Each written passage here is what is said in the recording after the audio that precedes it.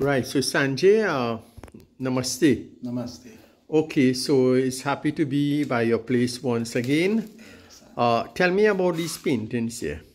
Okay, well, um, this painting here was um, is a commission job by um, a chef from um, New York, and um, they bought it. It's already paid for. Just have to collect it. And this one here, This one here is the school I went to, Brothers Press. Brothers Presbyterian School. And what you see there.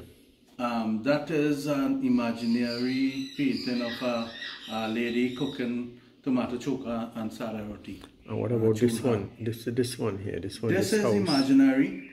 Um, I got inspiration from a, a, an old house in Palmyra. Um, it was an old colonial house, and um, well, it's not there anymore.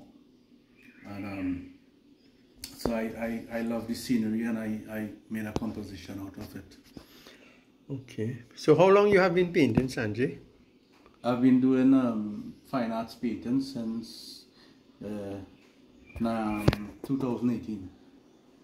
Done that you were that was held. Well, I did um, two exhibitions in the, the Horizons Art Gallery in Port of Spain, and some of my painting is presently at the um, Creative Arts Center in San Fernando. So what about the response from the public? Was it good? Were you pleased? It was good. I got some painting sell. Um, uh, I got good reviews. Um, a lot of people um, commended me on the, the type of painting I do. My genre of painting is rural South Trinidad painting for now. When do you plan to present your next painting? I want to do an exhibition in Williamsville Community Center sometime this year. Um, I'm teaming up with another artist from Williamsville Very nice. Yes, and um, well, we still have to discuss the, the details on it. So how many pieces of painting you have done altogether? You would see.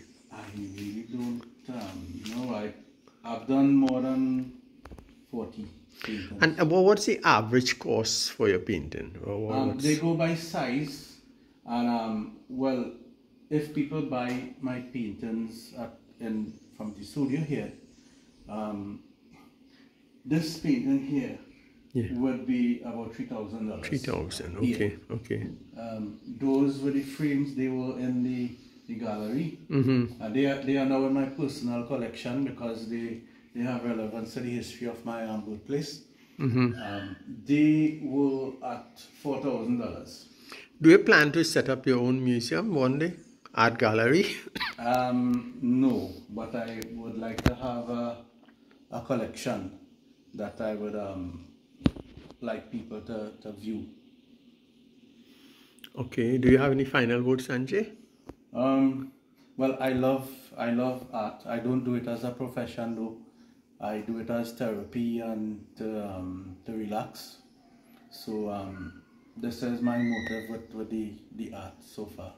It's not like it's a business or anything. yeah thank you very much